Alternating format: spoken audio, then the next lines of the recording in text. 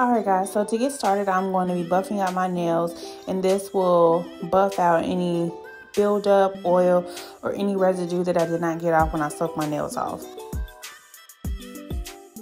Because I know I wanted to achieve a coffin shape, I went in with these stiletto tips and I find these to be easier for me to cut and shape into a coffin nail opposed to using the regular tips and just shaping them. It cuts out the process in half and it gets the look um, and achieves it in quicker time.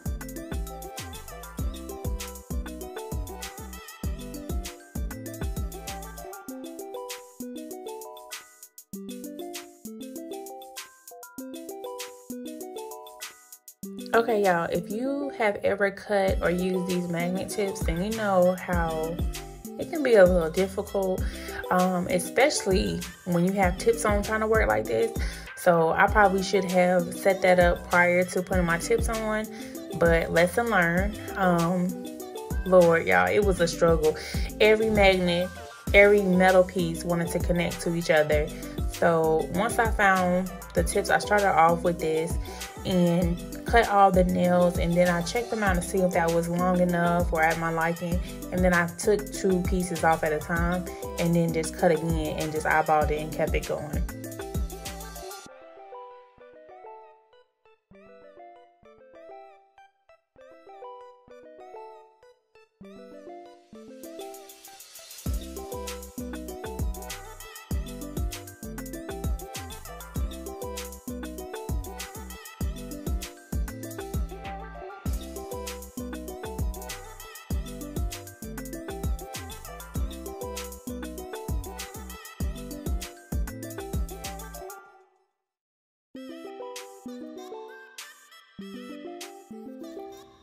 All right, so in this step, I'm using my file and I'm just filing on the sides of my nail just to make sure they line up with the nail tips.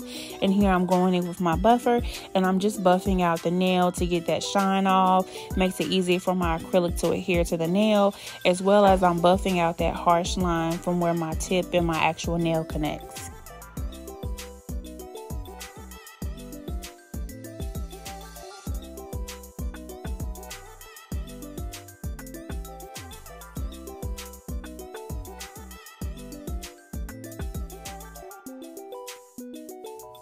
Here, I'm just going back in with my file, and I also use this as an extra step. I just like to make this as seamless as possible and try to make sure that you don't even notice where the tip begins. And I buff those out, and that's how it looks. And I'm trying new uh, acrylic today. So this is New Lux, the clear and the milky white. I purchased these from my local nail supply store. And um, I'm hoping that these achieve the look that I desire and it actually did so i don't even know why i'm saying hope. But these are the flowers. I purchased these also from my local nail supply store and i'm going with my handy dandy good old faithful mia secret nail prep. And then after the nail prep i'm going in with the bonder i do one nail at a time and one hand at a time. So i know sometimes some people may like do all their nails prep and bond but i'm not going to do that because i found that it dries out too quick. And when it's time for me to put the acrylic on like my other hand the acrylic doesn't adhere as well as it does on the opposite hand. So i only do one hand at a time just to make sure that the application is seamless as possible. So I also purchased this gold uh, clips as well. I forgot that I even had it, so that's why I showed it like like randomly, but I'm going to use it as well on my thumb and my pinky fingers. Those are going to be just the milky white and the um, gold. And I don't show me doing that process because I feel like this the purpose of this video is really to see me try to encapsulate encapsulate these flowers. So it was a little struggle and honestly it wasn't until I got to my uh, ring finger in my opposite hand is when I realized I did it all backwards. So originally when I'm doing this, I'm applying my acrylic clear acrylic. Lord y'all, if I can talk. My clear acrylic and then I'm putting the flower on top of that. When ultimately I should have been applying the milky white first, putting the flower on top of that, and then encapsulating it with the clear acrylic.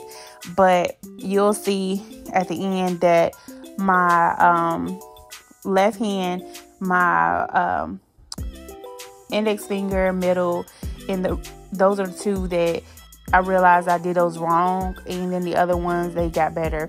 So in this step, you'll just see me applying the acrylic, clear acrylic. It's like I can't talk, y'all. Clear acrylic, and then I'm putting the flowers on top. In previous videos that I watched before I did this, I've seen other um, nail artists state that they um, cut the, the flower to their liking or how they want it to be on a nail. And I realized that after I did like I think it was the first or the second nail that I should have done that as well. So I'm going in now with the milky the milky white and I'm just putting that on top of the nail and this is when I like I think I realized it but I just kept going. I said maybe like it's just the color. I don't know what I thought. Because you don't even see like my actual nail that there's other flowers in certain areas because the milky white or milky way whatever you call it covers the flower. So I really didn't. I really wish I would have recorded the other hand or the um, other nails, but you'll see the end result. It did turn out correct, but I just wanted to tell you and share that with you guys as well. So that way, if anybody's watching, if anybody's watching this video and are trying to duplicate or replicate that look, definitely use the Milky Way first, then apply the flower and use the clear on top. But I'm gonna let y'all watch the rest of these steps and see how I achieve this look.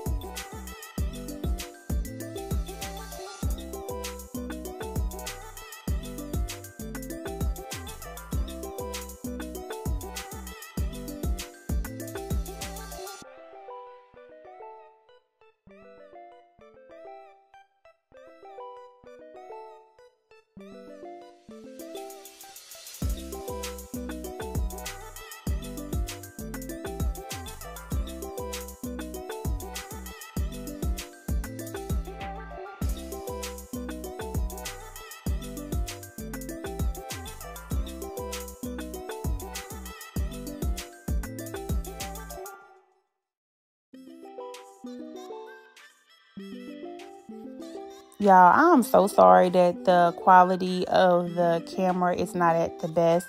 Like, I realized as I was editing, like, this should have been closer up. I should have positioned the camera this way or that way. But sometimes you don't learn until after the fact. And I'm just wanted to get this content out because I still feel like it was a good video that gave you good information. So I do apologize about that. But I hope you guys overall did enjoy this video. And if you did and made it this far in the video, please hit that like button. Comment down below what you like, what you enjoy.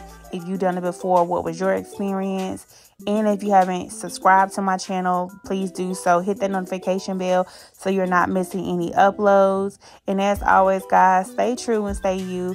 And I'll see you guys in the next video.